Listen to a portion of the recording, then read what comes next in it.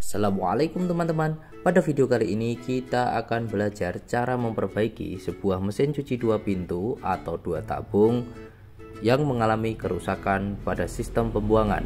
Dalam kasus mesin cuci saya ini teman-teman Mesin cuci ini mengalami permasalahan pada pembuangan airnya di mana ketika saya mengisi mesin cuci ini dengan air pada tabung pencucian, air tidak segera penuh atau terjadi sedikit kebocoran dan juga dibuktikan pada bagian saluran pembuangan air terus-menerus keluar walaupun tidak terlalu banyak padahal pada bagian sakelar atau bagian kunci dari pembuangannya itu sudah kita tutup tapi air tetap terus-menerus keluar dari mesin cuci.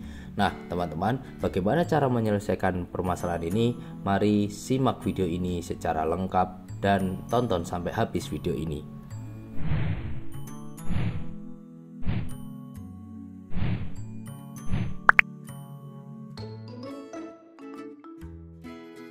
Seperti yang telah digambarkan di depan teman-teman bahwa mesin cuci saya ini mengalami kendala di dalam sistem pembuangannya. Hal ini saya dapati ketika saya mengisi air untuk mencuci pakaian, air tersebut tidak segera penuh atau kecepatan di dalam pemenuhan air dalam tangki sangat lama sekali.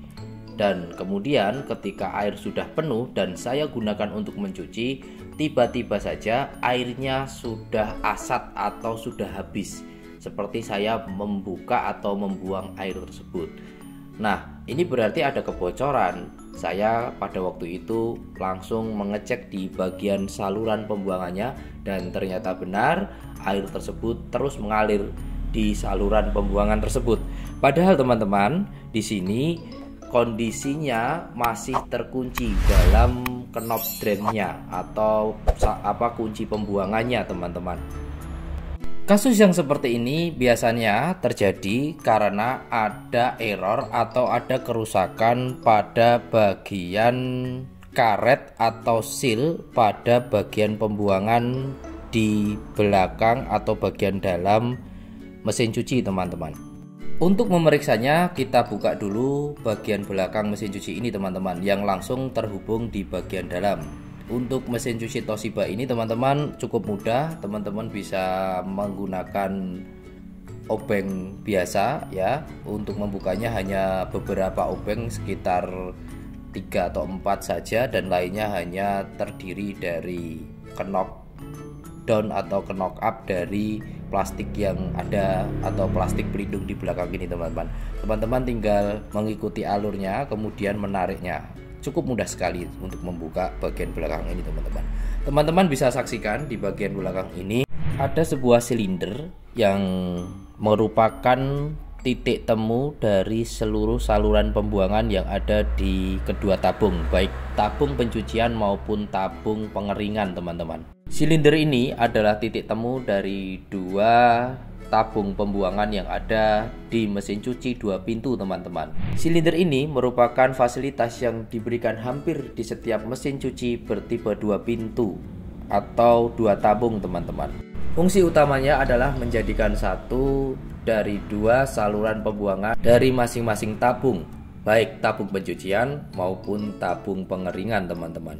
Karena saluran air dijadikan satu sehingga memungkinkan residu yang barangkali ikut dalam aliran air di pembuangan atau bekas dari pencucian ataupun pengeringan baik di tabung pencucian ataupun tabung pengeringan akan mudah terkumpul dan biasanya juga residu-residu ini terkumpul di tabung ini teman-teman. Residu-residu yang terkumpul dan menumpuk itu menyebabkan kinerja dari klep yang ada di dalam tabung ini menjadi error ataupun rusak ya. Dan dalam jangka panjang memang bisa menyebabkan klep itu rusak secara permanen. Dalam jangka pendek memang akan menyebabkan klep ini bekerja secara tidak optimal di mana Harusnya klep ini mampu menahan dan menutup air secara optimal agar tidak mengalir ke bawah atau keluar dari mesin cuci.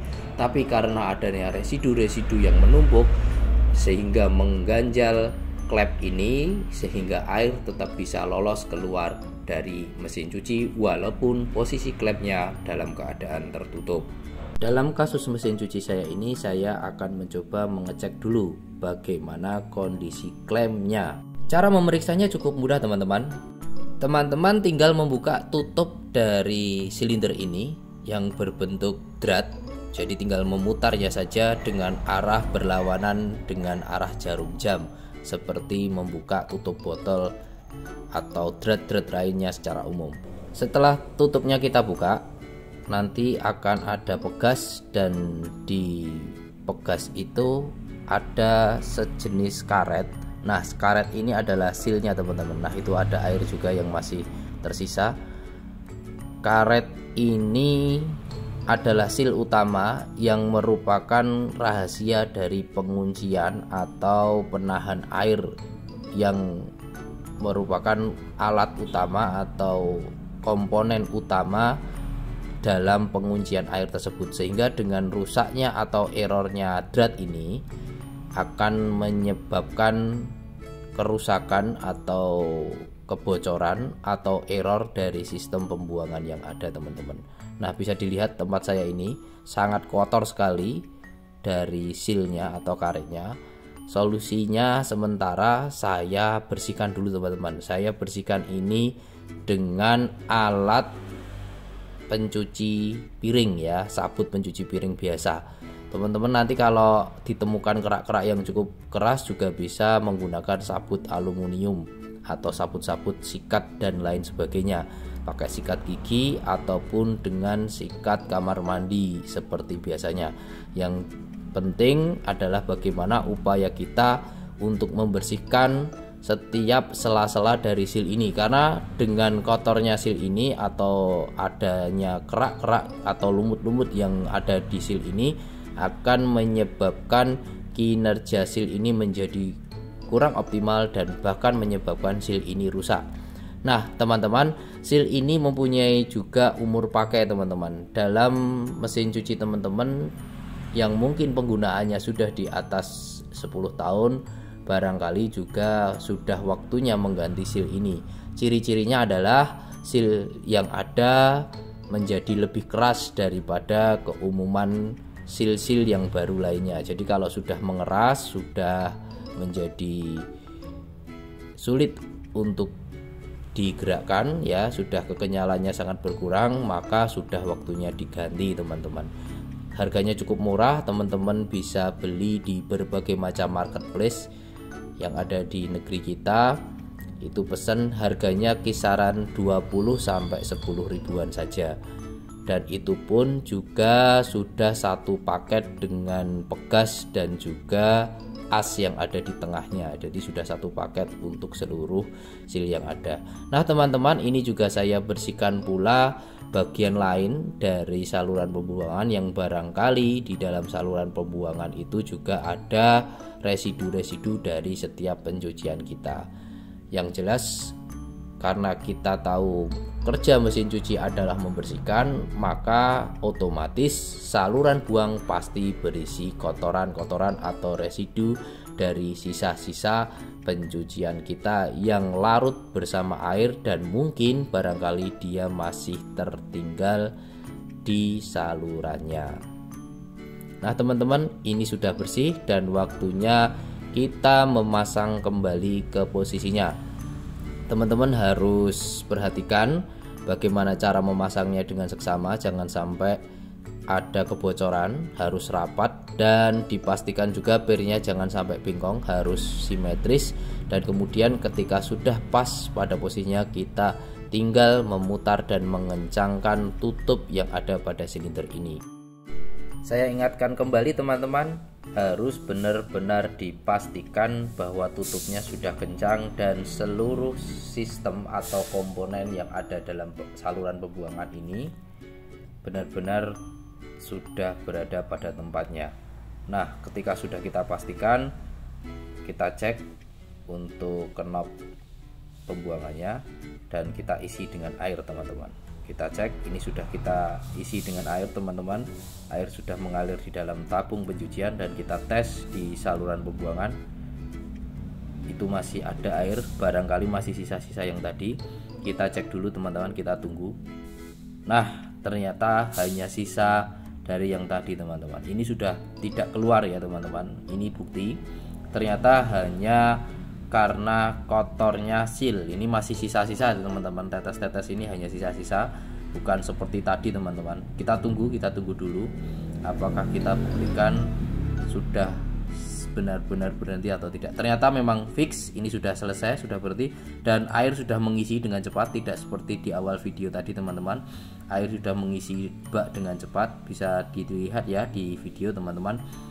Dan ini posisinya sudah tertutup ya di kenopnya atau di bagian sakelar penutupnya sudah tertutup dan air benar-benar sudah berhenti.